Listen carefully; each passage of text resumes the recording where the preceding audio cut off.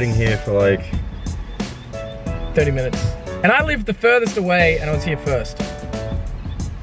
technically on the front. You, you were already in Adelaide. You flew, like cheating. You cheated.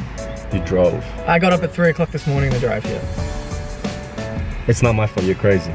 The Jag's comfier than an aeroplane. Pretty much drives itself.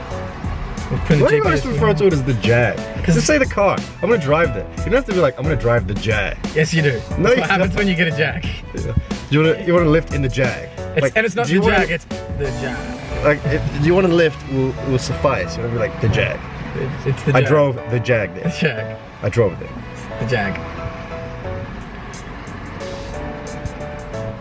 It's part out running a Jag.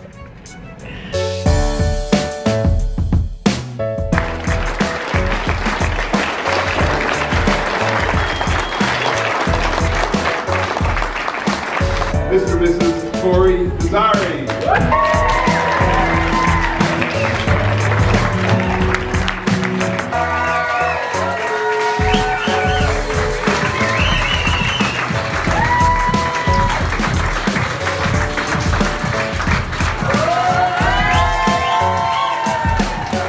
So you filmed with Razy Glass, my wonderful wife. Thank you for everything. I'm feeling like I'm the luckiest man alive and I love you.